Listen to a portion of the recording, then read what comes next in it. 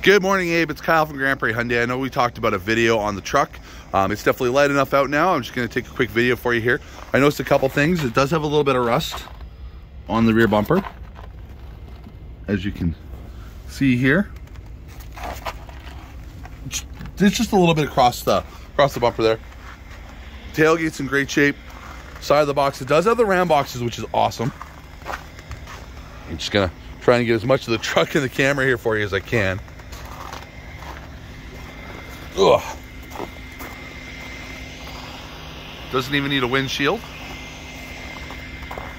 Front of the vehicle, rock chips, that's gonna be normal on something that's 2013. Does have remote start on the key.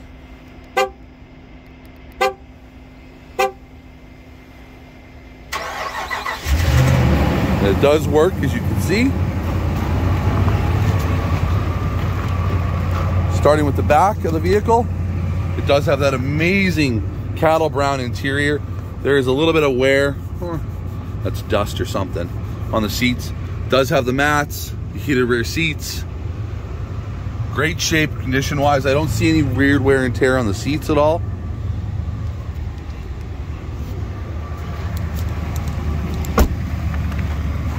Me around here.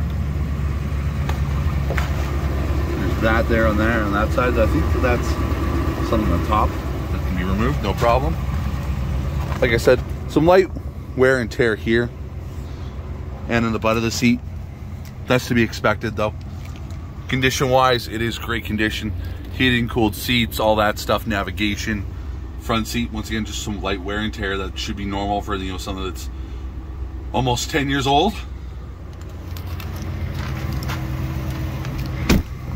Just gonna walk all the way around here so I can get the other side of the truck and show it to you and get this video uploaded and sent over to you, Abe. Well, this is a tight fit. There we go. Now on this side of the truck, said there's a small little ding right there. Ram boxes, it does have the, the box liner as well. I do apologize for being filled with snow. It does have the Nerf bars on both sides. Opening up this back door, same as the other side. Like I said, just a light wear and tear. That should be expected on something that's, you know, like I said, just about 10 years old.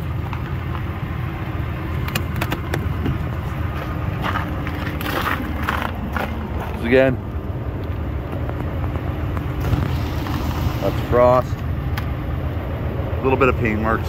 Something 10 years old should have some wear and tear.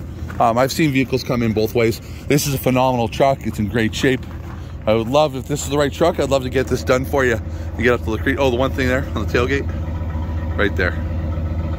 And that's plastic, as you can see. It's a little scraped up, but uh, not a huge concern. All right, I'm gonna get this video uploaded to YouTube for you, Abe, and uh, get this over to you. Looking forward to hearing from you.